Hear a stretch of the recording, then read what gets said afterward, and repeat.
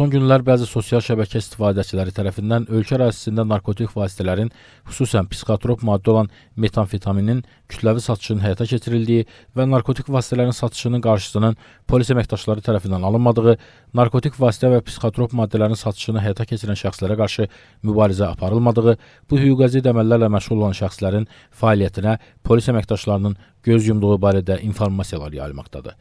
Daxili İşlər Nazirliyinin mətbuat xidmətindən bildirilib ki, polis əməkdaşları tərəfindən qanunsuz olaraq narkotik vasitələr, psixotrop maddələr və ya onların prekursorlarının hazırlanması, istehsal edilməsi, əldə olunması, saxlanılması, daşınması, göndərilməsi və ya satılmasına qarşı qətiyyətli mübarizə tədbirləri fasiləsiz olaraq həyata keçirilir. Bu əməliyyatların nəticələri barədə daim ictimaiyyətə ətraflı məlumatlar təqdim edilir. Daxili İşlər Nazirliyinin əməkdaşları tərəfindən 2021-ci ilin əvvəlindən bu günə kimi 1 ton 842 kiloqram yüksək təsir edici xassəyə malik müxtəlif növ narkotik vasitə qanunsuz dövriyyədən çıxarılaraq satışının qarşısı alınıb.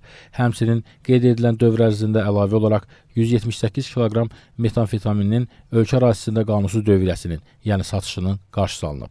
Qanunsuz dövriyyədən çıxarılan narkotik vasitələrin çəkisi ötən ilin müvafiq dövrü ilə müqayisədə 953 kiloqram çoxdur.